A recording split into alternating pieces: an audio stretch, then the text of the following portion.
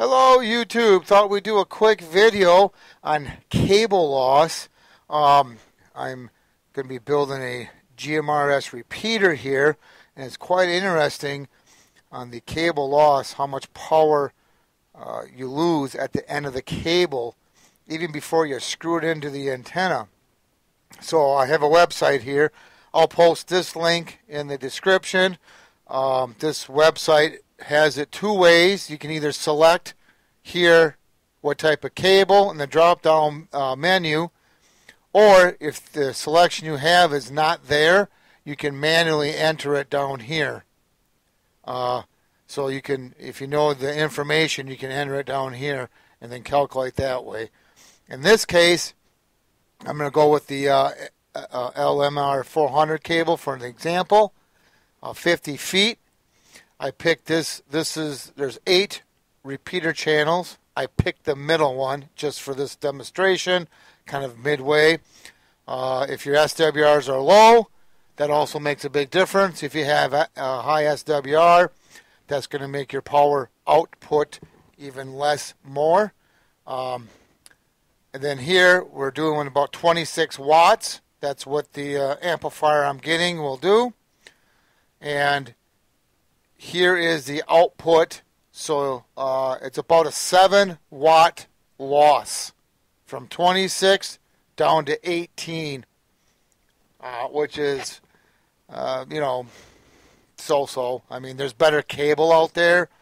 Uh, of course, that gets real expensive. So it depends on how much you want to spend. The cable that I'm going to get is about 50 feet. That's why I put 50 feet here. Uh, but like I say, it, it, just depends on how much you want to spend on, on cable.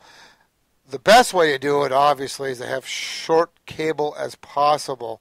If you're able to mount your repeater inside of a enclosed uh, unit, like inside of a metal box or, or some that effect, and then mount that up on the tower with the antenna and only have like a foot of cable, that would be ideal of course, you'd have to run power up to the to the repeater itself.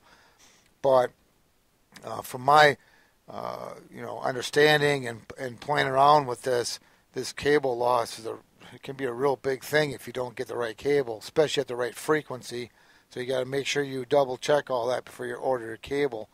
And uh, you know, even if I change this, if I put this to hundred feet, and I hit calculate, I mean, we're dropping. I mean, it drops pretty quick.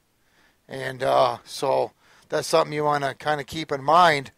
Like I said, I'll be doing about 26 watts approximately. I will do a video on the actual cable loss. What I'll do is I'll hook a 50 foot uh, my 50 foot cable to the repeater, and at the end of the cable, I will hook up my power meter, and we'll see exactly how much of a loss we're getting.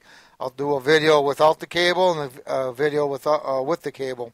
So, um, but yeah, that's that's what that's what we'll do there. Uh, you know, just to uh, even get more precise, we will definitely do a video on that.